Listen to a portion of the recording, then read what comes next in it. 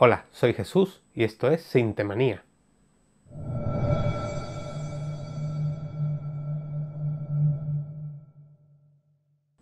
Hoy vamos a comenzar una serie de vídeos donde os voy a enseñar algunas de las funciones que nos ofrece el sintetizador Core Cross.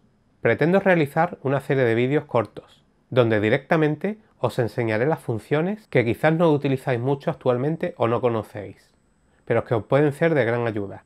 En este primer capítulo vamos a comenzar enseñando cómo asignar un sonido WAP a uno de los pads que tenemos en el teclado. Vamos a verlo. Una vez pasados los ficheros WAP a la tarjeta SD y hemos introducido la misma en el cross, vamos a pasar a asignar cada uno de los sonidos que nos interese al pad deseado. Para esto vamos a pulsar la tecla Shift más Sampler. Nos aparece el menú Sample Setup. En esta pantalla vamos a seleccionar el pad que queramos. Podemos hacerlo de dos maneras diferentes, o bien con la rueda de asignación, o bien pulsando el pad que deseamos asignar. Vamos a asignar el primer sonido al pad 1. Pulsamos el pad 1. En la pantalla nos indica el número de pad que vamos a usar y que actualmente está vacío. Pulsamos la tecla función y nos sale un menú. Nos vamos a la primera opción, que es importar WAP. Pulsamos OK y ahora nos van a salir todos los samples que tengamos en nuestra tarjeta. Seleccionamos el que queremos usar para ese pad, que nosotros vamos a seleccionar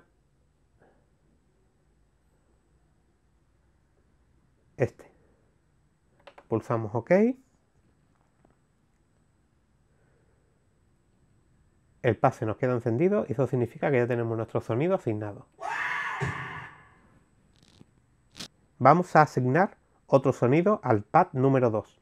Pulsamos el 2, pulsamos función, importar WAP, OK, buscamos el sampler que queramos poner, en este caso va a ser este, y ya tenemos asignados nuestros dos sonidos a los pads correspondientes. Estos sonidos no se pierden aunque apaguemos el cross, lo cual es bastante interesante para cuando los vayamos a usar en alguna actuación no tener que perder tiempo. Si queremos borrar algunos de los sonidos asignados, hacemos la, misma operación.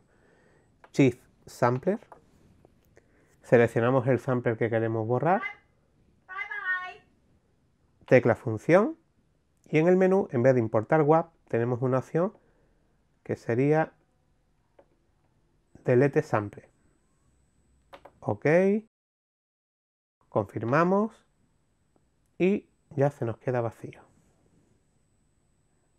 Espero que el vídeo os haya gustado. No olvidéis suscribirse y darle a la campanita para no perderos ninguno de los que vaya subiendo. Intentaré subir un vídeo cada semana. Si tenéis alguna duda sobre vuestro sintetizador Core podéis ponerlo en los comentarios. Intentaré solucionar todas las dudas que tengáis. Nos vemos en el próximo vídeo.